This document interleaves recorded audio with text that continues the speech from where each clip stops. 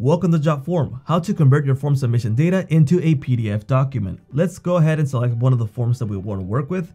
In this case, we'll select form 1. We'll click on more, select create PDF document, and this will open up the PDF editor. Now let's select the document name. In this case, we'll just say new doc.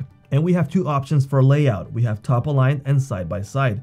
We'll look at those in a bit and you can change them later on if you like. In this case, we'll select top align.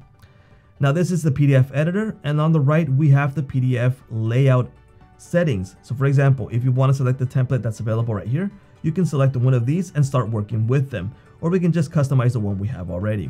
We have background color, background images, page settings for the size, the layout. In this case, we'll select landscape layout.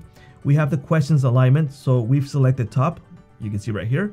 We have the top name and on the bottom is the field that has been filled already on the form. We can select left and now we have the name on the left and on the filled form on the right.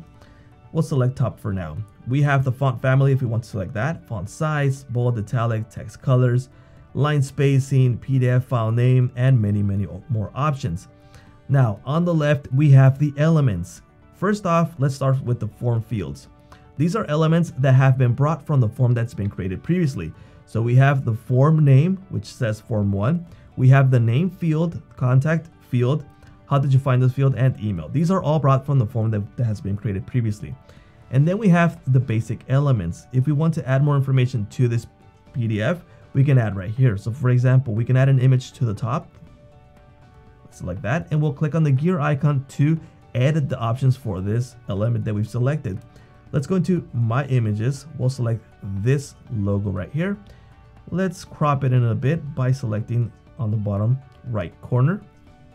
And then we have the options for each field that we have available on the PDF editor. So if I select this right here, we have the options for the background color of this. We have we can upload a file if we like, for example, the image or one of the images that we have already.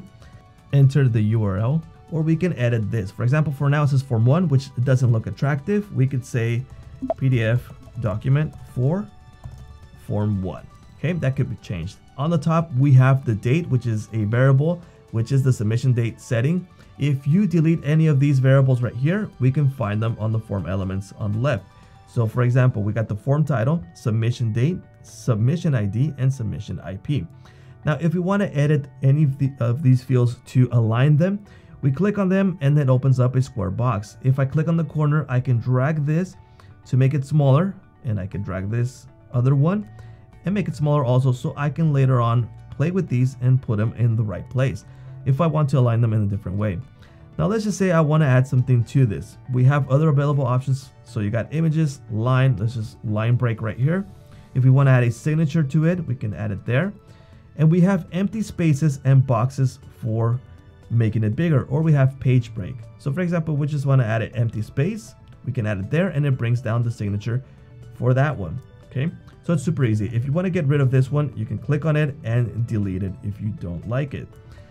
Now, this is the PDF editor. Now, what would we do with this PDF once we create it? If you're happy with the PDF that you just edit, we can now go ahead and download it. Now, if I click on download, it will download the current PDF, or if I want to download all, that means that all the submissions will be downloaded.